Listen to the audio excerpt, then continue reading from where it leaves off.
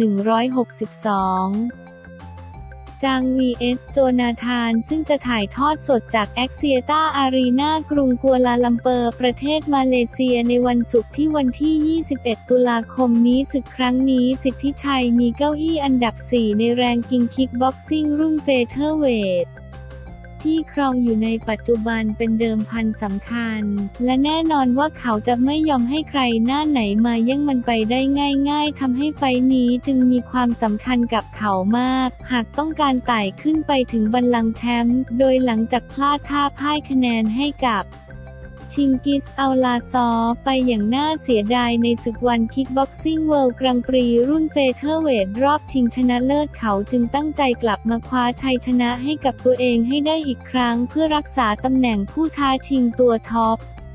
โดยถูกดาวรุ่งพุ่งแรงอาจหาญมาท้าทายหวังใช้เป็นทางลัดไต่แรงกิงสำหรับผู้ท้าชิงโมฮัมเหม็ดวัย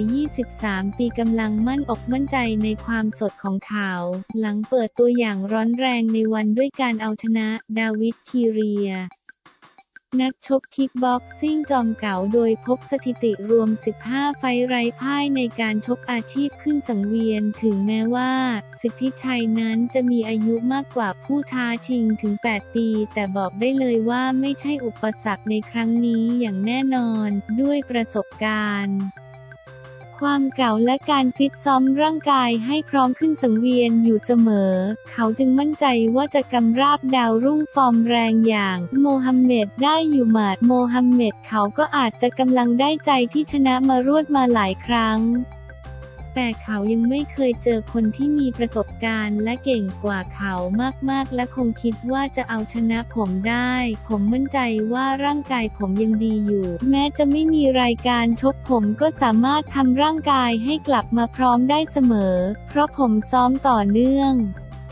จึงไม่กังวลเรื่องรื้อเวทีครับ ผมคิดว่าเอาอยู่และผมนี่แหละจะเป็นคนยัดเยียดความพ่ายแพ้ให้เขาเป็นครั้งแรก ไม่ว่าจะด้วยน็อกเอาท์หรือชนะคะแนนครับ แฟนสามารถติดตามการถ่ายทอดสดศึกวัน 162 จาง vs โจนาธานได้ในวันศุกร์ที่วันที่ 21 ตุลาคม 65 ผ่านทาง w a t o n e f c c o m YouTube One Championship AIS Play เฉพาะลูกค้า AIS และทางไทยรัฐทีวีช่อง 32 เวลา 21 นาฬิกา 30 นาที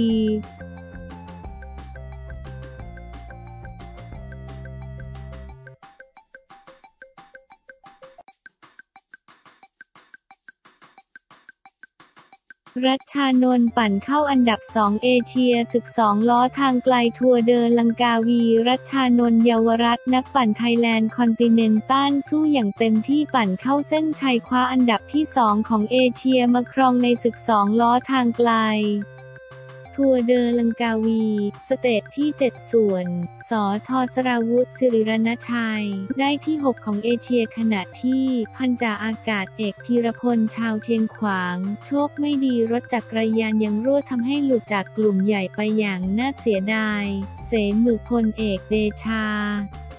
เหมกระศรีนายกสมาคมกีฬาจักรยานแห่งประเทศไทยมีพระบรมราชูปถัมภ์เปิดเผยว่าได้รับรายงานจากร้อยตำรวจเอกอดิศักดิ์วรรณศรีผู้ฝึกสอนจักรยานทีมอาชีพ Thailand Continental Cycling Team ถึงผลการแข่งขันจักรยานประเภทถนนทางไกลนานาชาติ ทัวร์เดินลังกาวี 2022 ที่ประเทศมาเลเซียในระดับโปรซีรีส์มีคะแนนสะสมมากกว่าระดับ UCI 2.1 เป็น 2 เท่าล่าสุดเมื่อวันที่ 17 ตุลาคม เป็นการชิงชัยในสเตจที่ 7 บนเกาะลังกาวีจากเดิมทางฝ่ายจัดการแข่งขันกำหนดเส้นทางเอาไว้ว่าเป็นเส้นทางปั่นขึ้นเขาจากคูอา ไปยังกูนุงรายาระยะทาง 90.8 กิโลเมตร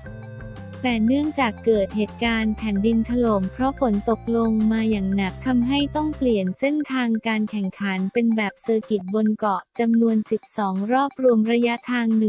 107.1 กิโลเมตร พลเอกเดชากล่าวอีกว่าการแข่งขันในสเตจที่ 7 นี้ช่วงสุดท้ายมีนักปั่นเกาะกลุ่มสปรินต์เข้าเส้นชัยจำนวน 64 คนปรากฏว่า ออม นายรัชชานนท์เยาวรัตน์นักปั่นอาชีพทีมไทยแลนด์คอนติเนนตัลสู้อย่างเต็มที่ ก่อนคว้าอันดับที่ 2 ของเอเชียมาครองด้วยเวลา 2.22.02 ชั่วโมง และเป็นอันดับที่ 24 จากนักปั่นทั้งหมด 104 คนส่วนนักปั่นคนอื่นๆ วุฒิสอทอสราวุธสิริรณชัยได้อันดับที่ 31 และเป็นอันดับที่ 6 ของเอเชีย เฟรนสิบปรีกองประจำการธนาคารชัยสมบัติได้อันดับที่ 41 ดอย ร้อยตำรวจโทนวุฒิลีพงษ์อยู่ได้อันดับที่ 45 อเล็กซ์ นายอริยพูลสวัสดิ์ได้อันดับที่ 60 เวลา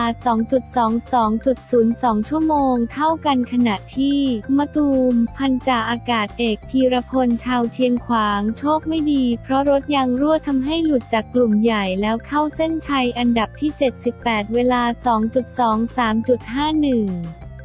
ชั่วโมงด้านแชมป์สเตจที่ 7 เป็นของสจอร์ดเบกนักปั่นเนเธอร์แลนด์จากทีมอัลเปซินดีคอนนิกเวลา 2.22.02 ชั่วโมงเสมือกล่าวอีกว่าสำหรับประเภททีมเอเชียประจำสเตจที่ 7 ทีมไทยแลนด์คอนติเนนตัล ได้ที่ 2 ด้วยเวลาวันที่ 7 มิถุนายน 06 ชั่วโมง ส่วนอันดับ 1 เป็นของทีมชาติฟิลิปปินส์เวลาวันที่ 7 พฤษภาคม 35 ชั่วโมง เฉือนชนะทีมอาชีพของไทยไป 31 วินาที และอันดับ 3 ทีมมูล่าจากอินโดนีเซียเวลาวันที่ 7 มิถุนายน 06 ชั่วโมง ขณะที่ผู้นำเวลารวมยังเป็นของอีวาน รามิโรโซซาครโว นักปั่นชาวโคลอมเบียจากทีมมูวิสตาร์ของสเปนเวลารวม 23.28.05 ชั่วโมง ได้ครอง เสื้อเหลืองต่อไปการแข่งขันสเตจที่ 8 ในวันที่ 18 ตุลาคม ซึ่งเป็นสเตจสุดท้ายใช้เส้นทางเดิม แต่เพิ่มมาอีกหนึ่งรอบเป็น 13 รอบรวมระยะทาง 115.9 กิโลเมตรซึ่งนักปั่นไทยต้องพยายามทำอันดับให้ดีที่สุด เนื่องจากแต่ละสเตจนักปั่นที่อยู่อันดับ 1-40 จะมีคะแนนสะสม UCI ให้ทุกคนเพื่อที่จะเพิ่มคะแนนให้กับประเทศไทยให้ได้มากที่สุด ในการสะสมคะแนนคัดเลือกโอลิมปิกเกม 2024 ก็ต้องของแรงใจจากพี่น้องชาวไทยอีกครั้ง ช่วยส่งกำลังใจเชียร์ลูกหลานไทยให้ประสบความสำเร็จในการแข่งขันครั้งนี้ด้วยพลเอกเดชากล่าว